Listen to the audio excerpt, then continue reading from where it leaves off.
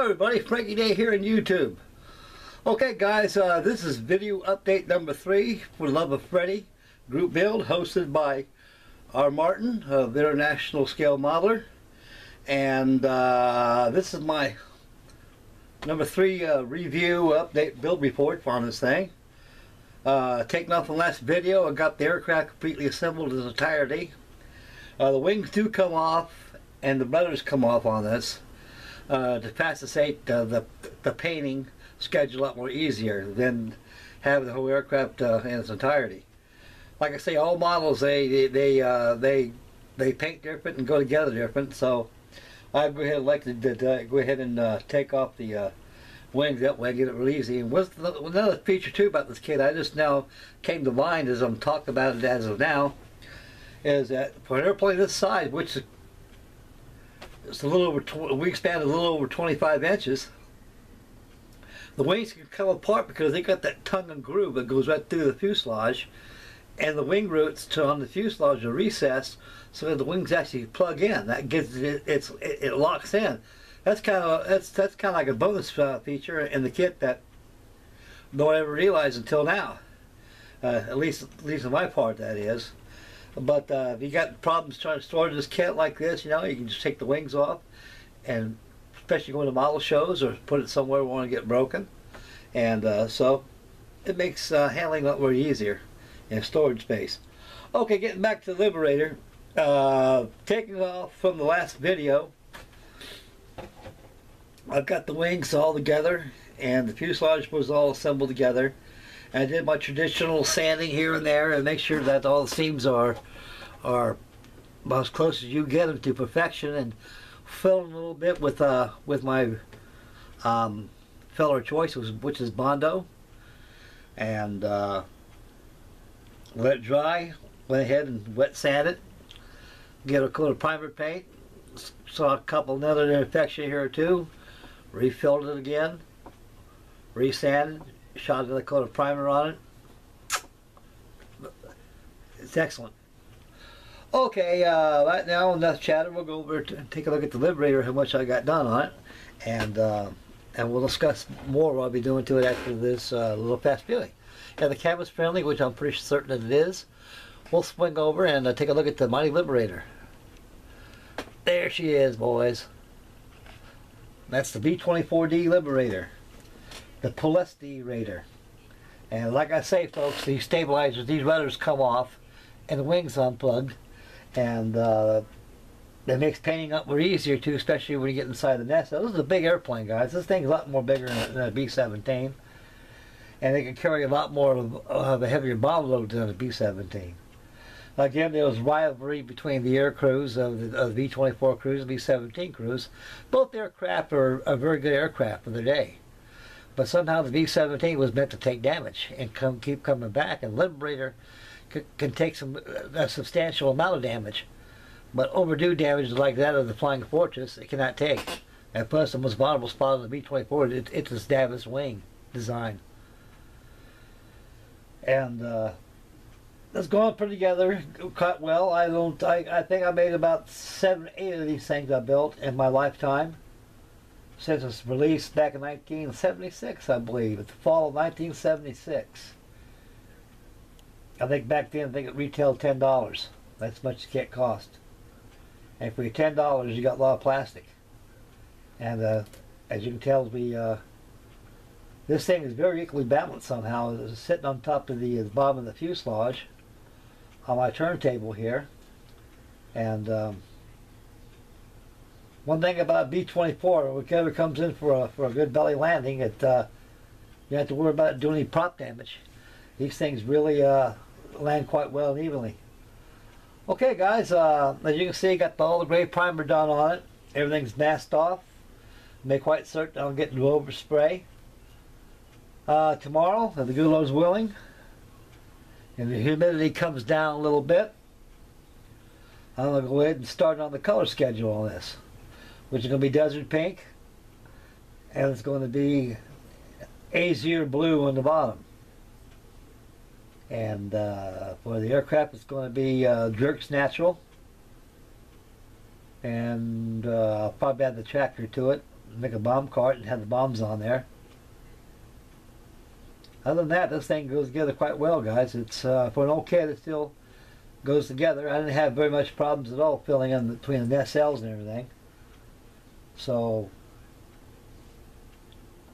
this thing looks pretty good. I'm pretty happy with it. And so tomorrow, like I say, I, I got a trap on my compressor. I don't have to worry about what spitting condensation you know through there. But somehow humidity, humid days, I don't like to paint them.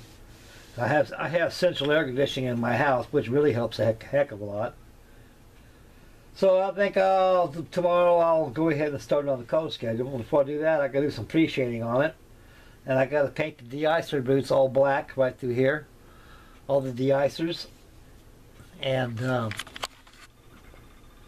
once the de-icer's been all completely uh, painted and everything, I'm gonna go ahead and um, mask off the de-icers itself. On leading edges of the twin rudders, the wings, stabilizer, and let's go ahead and do some pre and uh, well, finish up with the desert pink and the azure blue and uh, undercarriage and a few sundry parts, and she's all done.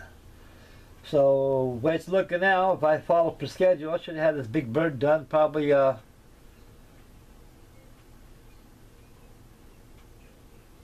I'll say by Wednesday.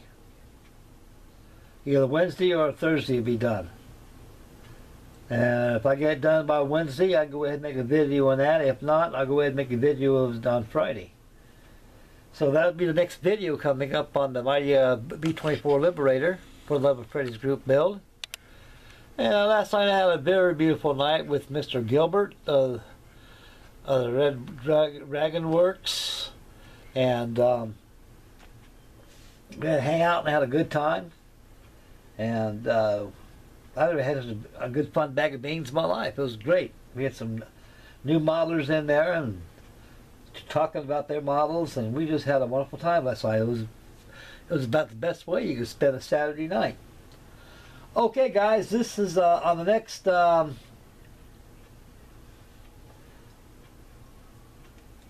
our next video, I'll I'll uh, I'll post uh, the pre-shading on it. The next video after that will probably be the uh, the, the, final reveal. And um, she's going together, like I say, she's almost done. Just a few parts here and there she's completed, but I like that for that primer to dry real well before I uh, go any further. So anyway, folks, uh, she's uh, near completed, as you can see. This uh, completes video number three for the Love of Freddy group build featuring my Revell Monogram B24D Liberator in 148 scale. And we'll take this camera swing over to yours truly right here and we'll finish up the video and uh, that'll be that. Okay guys, uh, so like I say I'm going to let the, the Liberator dry for uh, overnight and tomorrow I'll start with the pre-shading. And uh, after that, make a video of that and just go ahead and uh, finish up on the color schedule. Desert Pink, Azure Blue. Anyway, guys, uh, it was kind of fun building this kit, and I, am very grateful for Freddie giving me this B-24 Liberator. And the least I can do, you know, which is a very, very good cause and a very, very good group build, uh, sh showing appreciation and gratitude, you know, uh, for the givings from the heart of Freddie. And uh, so anyway, um, at this video, I'm going to sit here and ponder for a while, see what I'm going to get started and what I got to finish up on. Lord knows I got a lot to finish up on. I'm starting to fall in the worst clutches of the world. Modeler's syndrome. And I think I got a touch of it right now going on. And uh, I got that uh, Vacuform uh, C124 Globemaster barking at me, and I got my Arizona barking at me over there, and every one of them hot me to get that Denmark started. So, only way to get stuff started and finished up is just go ahead and start finishing up, make videos, and uh, something else will arise. Okay, guys, uh, so stay tuned for the next video, which will be the pre-shading of the B-24 Liberator, and uh, that will be video number four. And I believe on the fifth video will be the final reveal. And who knows, I might just go ahead and order, uh, build another one for Freddy and I think he gave me a B25 up there, which is in the box top of this B24. All the parts are accounted for, decals, everything. It's just a kit with no box. And so I just may go ahead and start that one, get that one going, drop the flaps on it and everything, and make it natural aluminum. I think I'll go ahead and, and use uh, kitchen foil on that. That'll bring that out real good. Okay, guys, that's uh, that'll be it for tonight for me. It'll be end of the night for the Liberator. And I'd like to thank everybody for tuning in, and God bless every one of you guys out there. And uh, my wife is doing fine. She's really good. I, and uh, she's back up to snuff now, running all eight cylinders. And like to thank heaven and and God above, and you great fellows for your your warm warm uh, candor, and uh, it makes me uh, feel really good and warm inside. And I, uh, I appreciate it very much, fellas. And um, so I think what I'm going to do right now, I'm going to think about what we get going on to get started up on, and uh, watch some of you guys' videos tonight. Do some commenting. I got to catch up my comments too. You know that that you guys uh, out there have uh, commented on. I haven't got back yet, but too darn busy. So now it's time to get back and catch up on my uh, on my work. Okay, guys, this is Frankie Day signing off right here. I'd like to thank everybody again one more time again for tuning in and make God bless and make Mama happy. And please subscribe. And uh, we'll catch you on in the next video, gentlemen. So you guys have a wonderful Sunday and enjoy yourselves and uh, happy modeling. We'll see you, man. This is Frankie Day signing off. Stay tuned for the next one.